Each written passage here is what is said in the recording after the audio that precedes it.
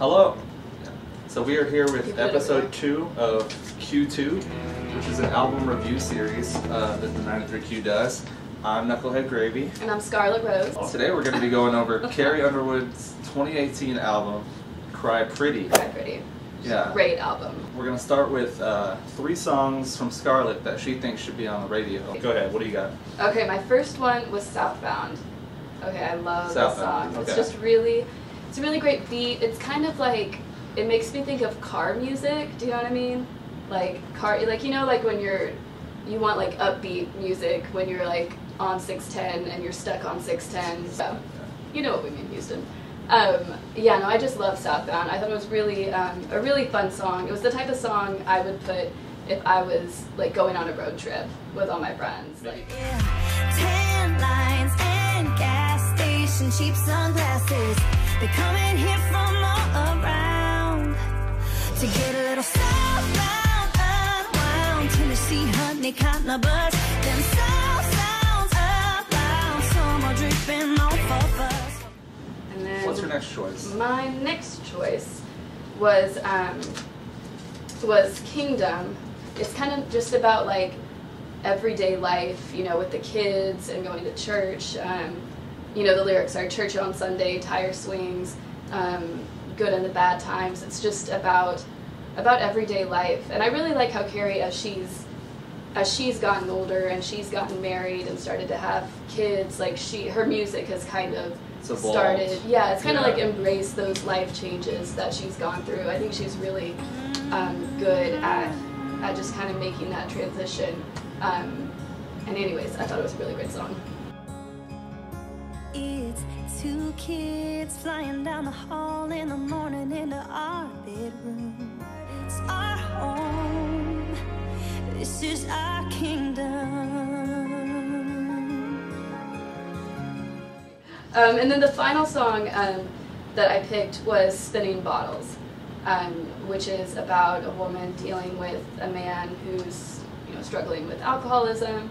Um, you know, and she sings "This ain't a game, nobody wins." Um, when the bottle spins, I think is the lyric. But it's just a really, it was a really, really, it was really, really sad. Um, but it's something that a lot of people go through. You know, dealing with a loved one who's struggled with um, you know, alcoholism. And, and, and what she sings is completely true. Like, nobody wins um, in that situation. But so she, she always does these songs. I feel like Carrie, like, she's not afraid. That's what I love about her. She's not afraid to go for these really, really, really intense songs, you know, like Jesus Take the Wheel. Maybe some touchy subjects every now and then. yeah, no, she's definitely willing to push it. You know, like she doesn't. That's what I love. That she doesn't. Carrie doesn't play it safe. Like she, oh, like she's that. got guts. You know, I, I when it comes to her song choices. Those are good top three right there. I agree. Thank you. She's waiting, praying that he don't drive tonight. She's pacing the floor, she's checking the time, wondering how the glow with that porch light hasn't gone out, cause it's been on now. Round and around and around they go,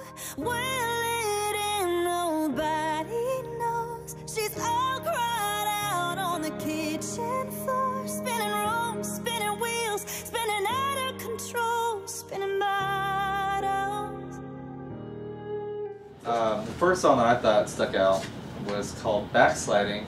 I really like this song. Yeah. Um, to me, it's like perfectly poppy. It fits in Perfectly poppy. perfectly pop. That's what I wrote down. Perfectly poppy.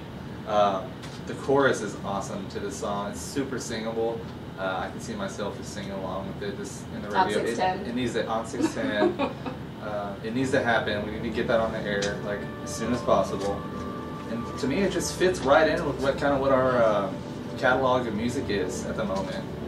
I'm not supposed to be thinking about you lying here in this bed. Put your ring in the back of the dresser drawer, and we close that door. So why am I two picking up my phone and you're standing in my porch light, backsliding? So the next one is called The Bullet. To me, tr- the, the bullet was a traditional song. It was more, it was slower. I like the harmonies that like uh, made up the song. Um, it was pretty. And the subject matter was very, Yes, it was meaningful. yeah, Absolutely. And it's also kind of a change of pace from what we play at the radio, which also, I mean, you can't be playing the same kind of thing all the time. So I think this would also be a good choice for our catalog of music because it's a change of pace. Um, not every song sounds like this right now, so we need to have, maybe have this one on the air.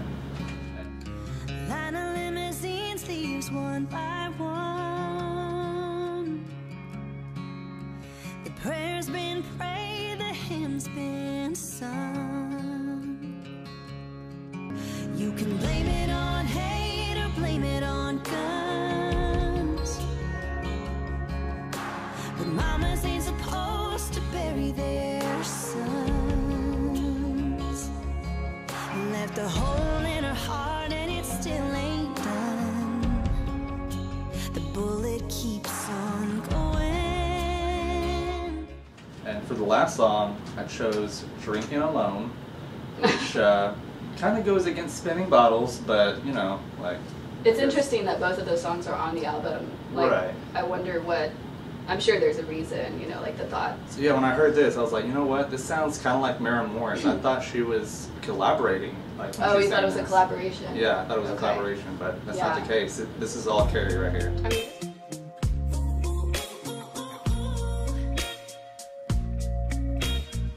Let me make one thing clear. You can buy me a beer, but you ain't taking me home. No pickup lines. I came here tonight to shed a few tears on my own. I mean, this was a very progressive album, and I love that. I love that Carrie's always so she she's willing to deal with those subjects like gun violence and alcoholism, and, and gun violence that- isn't something that a lot of people are willing to, To sing about but openly, but she's like you know going there about you know things that are are real and are happening, and, and it was just it's a, just all around. It's a great. I think it's a great album. It's soulful. It's meaningful. Mhm. It's poppy when it needs to be. Traditional when it needs to be. There's a lot of range on the album. So uh, that about sums it up for our album review of Cry Pretty. Uh, let us know what you think. yeah, what's your favorite song from Cry Pretty? Tell us. Give us some songs. Maybe we come to some agreements, some disagreements. uh, that's what it's all about, really. We just want to find out what y'all want to hear. And uh, we'll see you next time on episode three of Q2. 白银